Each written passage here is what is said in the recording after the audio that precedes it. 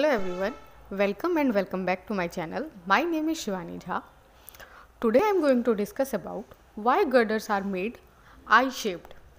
जितने भी आपने गर्डर्स देखे होंगे ब्रिज गर्डर्स वगैरह तो आपने देखा होगा वो मैक्सिमम आई शेप के बने होते हैं जैसे आपने रेल रेलवे ट्रैक में भी रेल जो होते हैं उनको देखे होंगे वो भी आई शेप के बने होते हैं तो क्या रीज़न है कि इनको आई शेप का बनाया जाता है फर्स्टली गर्डर होता क्या है तो गर्डर एक टाइप ऑफ़ लार्ज बीम है वी नो बीम जो है कि हॉरिजॉन्टल स्ट्रक्चर है, जो कि कैरी करता है वर्टिकल लोड को एंड ट्रांसफ़र करता है लोड को कॉलम के अंदर और उसके बाद वो फुटिंग उसके बाद फुटिंग और उसके बाद सॉइल में ट्रांसफ़र हो जाता है वो लोड तो गर्डर जो है वो भी एक large horizontal member of structure है, जो कि हैवी लोड्स को कैरी करता है एंड ट्रांसफ़र करता है लोड को टू द बियरिंग उसके बाद देन सब स्ट्रक्चर गर्डर्स जो है वो मेनली आई शेप या box girder cross section type का होता है.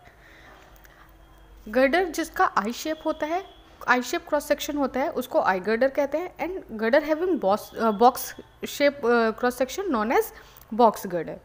Basically beam and girder have same principles. क्या इनके प्रिंसिपल हैं? ये रेजिस्ट करते हैं बेंडिंग मोमेंट को, शीयर फोर्स को, टॉर्शनल रेजिस्टेंस को। तो अभी तक हमने तो ये देखा कि बीम एंड गर्डर बिल्कुल सेम ही है। तो क्या डिफरेंस है बीम एंड गर्डर में? कुछ तो डिफरेंस होगा, तभी इसका नाम गर्डर आई शेप गर्डर या बॉक्स शेप गर्डर कहता है, उसको हम बीम कहते हैं। सो द बीम जो है, वो हमारा यूज़ ये हमारा कैरी करता है स्टैटिक लोड को। एंड जो हमारा गर्डर है, वो कैरी करता है हमारा डाइनिक डायनामिक लोड को। स्टैटिक लोड क्या होता है? स्टैटिक लोड होता है जो कॉन्स्टेंट लोड होता है ना with respect to time like a slab is resting on beam ये हमारे स्टैटिक लोड है। तो जो हमारे बीम होते हैं वो हमारा उस स्टैटिक लोड को कैरी करता है। एंड डायनामिक लोड क्या होता है? डायनामिक लोड होते हैं हमारे मीन्स लोड चेंज होते रहे ठीक है? लोड चेंज होता रहे उसका magnitude direction position with respect to time such as wind load seismic load due to earthquake rolling roads rolling loads में जैसे ट्रेन uh, हो गया ठीक है? या रनिंग कार एक्सेट्रा ये सारी चीज़ें हमारी डायनामिक लोड होती हैं। ये गर्डर जो है ये डायनामिक लोड को रेजिस्ट करते हैं। सॉरी डायनाम जो गर्डर जो है हमारे, वो डायनामिक लोड को कैरी करते हैं एंड स्टैटिक लोड को बीम कैरी करते हैं। Now the point is why beam is rectangular in shape and girder are of I section beam को रेक्टेंगुलर शेप में क्यों है ये एंड गर्डर आई सेक्शन क्यों है?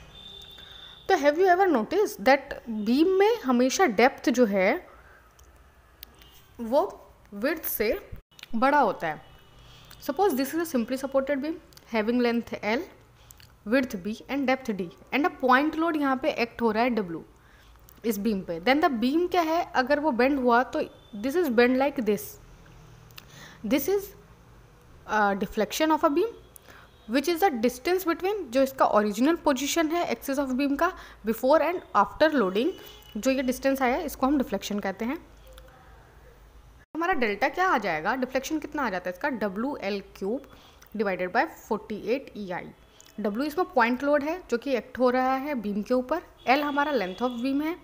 ई e है modulus of elasticity and I is moment of inertia तो for rectangular section हम मोमेंट ऑफ़ इनर्शिया जो होता है हमारा आई जो होता है, वो होता है हमारा B D cube by twelve तो अगर हम इस फॉर्मूले को और सिंप्लीफाई कर दें तो ये हमारा क्या आ जाएगा? डब्ल्यू एल क्यूब अपॉन में four E forty eight E और आई की जगह आ जाएगा हमारा B D cube by this formula हमें क्लियरली अंडरस्टैंड है कि अगर हम इंक्रीज़ करें विड्थ को टू टाइम्स देन जो हमारा डिफ्लेक्शन है, वो हमारा आ जाएगा half of the deflection one by two of the deflection but अगर हम इंक्रीज़ कर दें डी को डेप्थ को बाय टू टाइम्स तो हमारा डिफ्लेक्शन जो है, वो हमारा one by eighth of deflection आ जाएगा. दैट्स वाई डेप्थ जो है वो मोर इंपॉर्टेंट होता है then the width of the beam and the innovation of जो गर्डर है from the beam to carry heavy loads in longer span तो क्या होता है, अगर हम by increasing the depth rather than the width जो कि ज़्यादा इफ़ेक्टिव होता है in reducing the bending but there is a problem if we increase the depth more अगर हम डेप्थ को ज़्यादा इंक्रीज कर देंगे तो ये सेक्शन जो है this is bend like this which is known buckling तो इस बकलिंग को अवॉइड करने के लिए रेक्टेंगुलर इस बकलिंग को अवॉइड करने के लिए रेक्टेंगुलर सेक्शन में हम बोथ एंड्स पे ये एंड गर्ड बोथ एंड्स पे ये प्रोवाइड करते हैं। ये रेक्टेंगुलर सेक्शन जो है, इस बकलिंग को हम अवॉइड करने के लिए रेक्टेंगुलर सेक्शन जो है बोथ साइड पे प्रोवाइड करते हैं। जिसकी वजह से ये हमें large load bearing surface provide करता है, ठीक है? इन दिस आई सेक्शन जब हमारा लोड एक्ट होगा एट सिंपली सपोर्टेड तब जो हमारा बेंडिंग कंप्रेशन है will be at the top section ठीक है? ये हमारा रजिस्ट करेगा कंप्रेसिव स्ट्रेंथ को एंड बेंडिंग टेंशन जो होता है, वो हमारा होता है बॉटम सेक्शन पे, जो कि रजिस्ट करता है टेंसाइल स्ट्रेस को।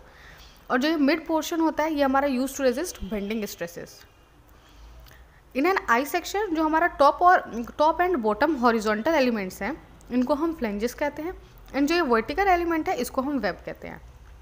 ये जो कॉम्बिनेशन है एलिमेंट का, ये इस सेक्शन को इतना स्ट्रॉन्ग बना देता है कि ये ब्रिज जैसे लॉन्ग स्पैन के लिए भी हम इसको यूज़ कर ले, कर पाते हैं। And if you notice the rail in railway track that is also I section which resist heavy loads in the box girder there are also two flanges एक टॉप में एज वेल एज एक as well as एक bottom में. और having two webs and wider flanges makes the girder more stronger than the I girder I hope आपको समझ आया होगा कि बीम एंड गर्डर में क्या डिफरेंस है एंड हम गर्डर का यूज़ क्यों करते हैं एंड आई सेक्शन गर्डर हम क्यों बनाते हैं ज़्यादा या आई गर्डर जो है वो हमारा सिर्फ़ I and box I section cross section या बॉक्स क्रॉस सेक्शन के शेप में ही क्यों होता है? If you like this video then please do like subscribe and share this channel thank you for watching